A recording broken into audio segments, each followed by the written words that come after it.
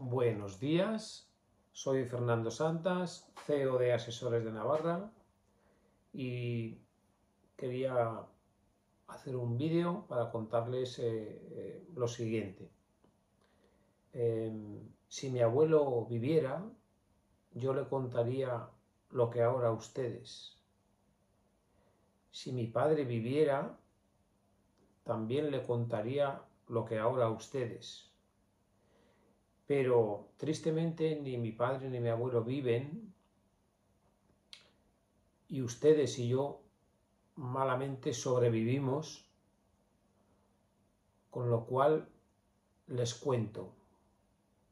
Pero presten atención porque no es ningún cuento. El tema va de las subvenciones públicas a los partidos políticos.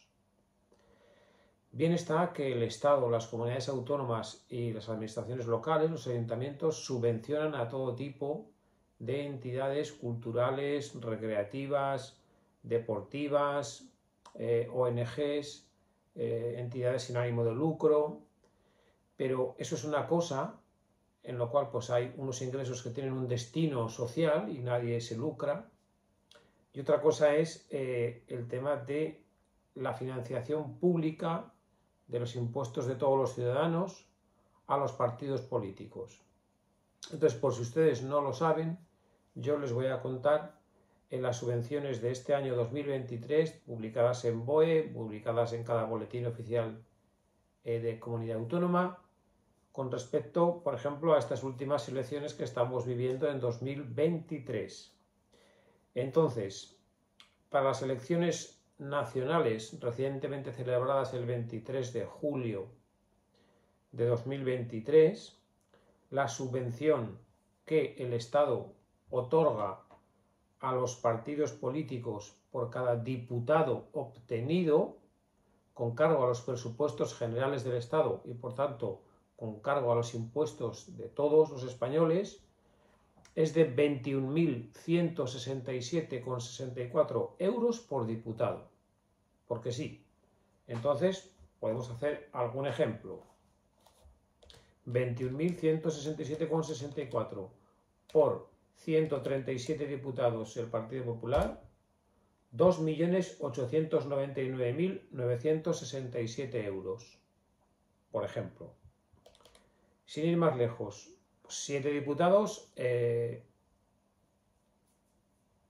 Euskal Herria Bildu, 21.167,64 por 7 diputados, 148.173,48 euros. Y así sucesivamente hasta los 350 diputados. 350 diputados por 21.167,64 euros. 7.408.674 euros de los impuestos de los ciudadanos se han pagado eh, por diputado obtenido en las elecciones del 23 de julio. Segundo apartado, por cada voto emitido al Congreso, por cada voto a un partido, 0,81 euros. Aproximadamente Partido Socialista Obrero Español y Partido Popular, 8 millones de votos. 8 millones de votos por 0,81 euros, 6.480.000 euros de subvención más por voto. Esto a y PSOE aproximadamente. Por ejemplo, eh, igualmente, igual que decíamos antes con eh, Euskal Herria Bildu, creo que han sido unos 330.000 votos. 330.000 votos por 0,81 euros, 267.300 euros. Entonces, así es como funciona el sistema. 21.167,64 euros por diputado y 0,81 euros por voto. Esto en las elecciones del 23 de julio al Congreso. Pero no termina ahí. El sistema hidráulico está montado de manera completa y redonda. Para las elecciones que se celebraron el 28 de mayo autonómicas, ahí, como tenemos 17 países, pues cada uno determina la subvención que también la comunidad autónoma otorga por diputado. Así como para el Congreso eran estos 21.167, para las comunidades autónomas oscila entre una horquilla de 13.000 euros por diputado hasta 30.000 euros por diputado, siendo aproximadamente la media pues unos 19.000 euros por diputado. En Navarra mismo, por ejemplo, pues a esa media de 20.000 euros por diputado, el partido que más eh, diputados ha sacado ha sido Unión del Pueblo Navarro, que han sido 15 diputados de los 50, pues 15 diputados por 20.000 euros, 300.000 euros de subvención. Eh, igualmente el PSN 11, etcétera. Y eh, igualmente también, igual que están los 0,81 euros por voto en el Congreso, en cada comunidad autónoma, también, además de por diputado autonómico de subvención, eh, dinero por voto, siendo, curiosamente, según mis datos, Navarra la comunidad autónoma que más paga por voto a los partidos políticos, que si para el Congreso eran 0,81 euros, en Navarra por voto para los partidos políticos ha sido de 1,13 euros por voto. ¿Mm? ¿Termina ahí? No. ¿Qué quedan? Las elecciones a ayuntamientos y alcalde. ¿Cuántos tenemos en España? Mm, miles. Bueno, pues también regulado por ley, eh, se concede una subvención de 270,90 euros por cada concejal electo. Por cada concejal, para el partido político correspondiente, 270,90 euros. Por ejemplo, estamos en Tudela, creo que UPN, que ha sacado mayoría absoluta aquí, han sido 11 diputados. Pues 270,90 por 11 diputados, 29.799 euros también a cargo. Y igual que en las comunidades autónomas y que en las elecciones generales, también por voto, 54 céntimos más por voto. Todo esto eh, y estas subvenciones, pues eh, eh, el Estado, las comunidades autónomas y las locales consideran a los partidos políticos que no son mm, entidades con ánimo de lucro, sino que realizan un bien social, cultural, no lucrativo y por tanto todas estas subvenciones que reciben los partidos políticos están exentas de tributar. Usted recibe una subvención por un coche eléctrico, tributa. Usted recibe una subvención por rehabilitar su vivienda, tributa. Usted recibe una subvención por colocar el ascensor en su vivienda antigua donde no hay ascensor, tributa la subvención e igual que si le toca la lotería.